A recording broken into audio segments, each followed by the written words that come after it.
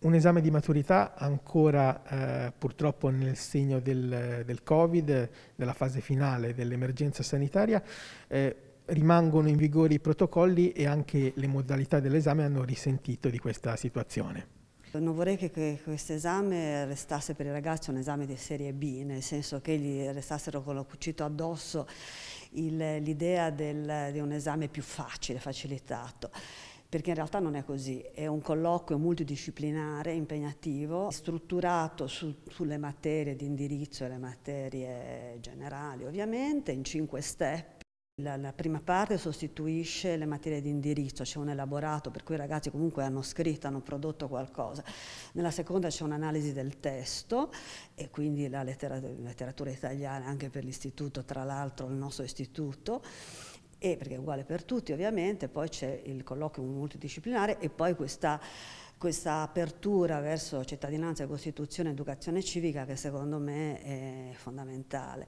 E poi vorrei eh, ringraziare i ragazzi, ringraziare i ragazzi perché hanno fatto, trascorso un anno difficilissimo ma con un grande senso di responsabilità. La loro prova di maturità l'hanno già data, nel rispetto delle regole, nell'attenzione con cui sono comportati nei confronti dei genitori, degli anziani, la paura di, di contagiare. Io li ho visti rispettosissimi, ma la paura era perché pensavano ai più fragili e quindi la, la vera prova di maturità per me, la, per me sono tutti promossi.